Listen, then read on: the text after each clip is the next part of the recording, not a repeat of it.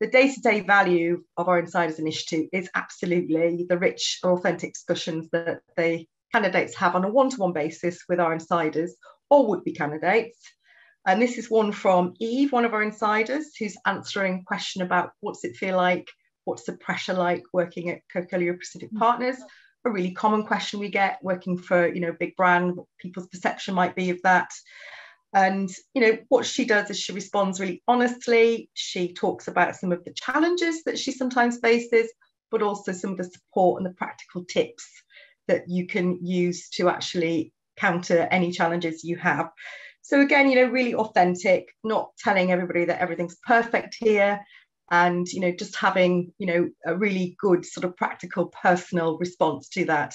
And what I really like about this example is that um, Farouk has also joined in the conversation. He's thought he can build on that conversation. So you get a little bit of multiple responses, making the candidate feel even more special, right?